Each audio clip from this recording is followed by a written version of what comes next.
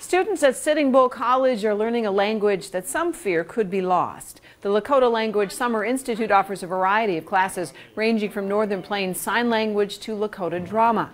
It's considered to be the premier Lakota language development event in the country, and it is drawing people from all over the world.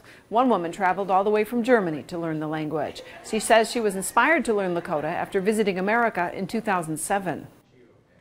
I stopped at a museum and it had history in English and also in Lakota.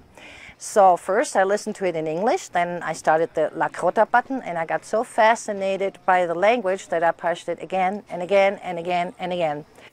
She says she's sharing the language with her family in Germany. She's already taught her four-year-old granddaughter to count to 10 in the Lakota language. Courses run through June 20th.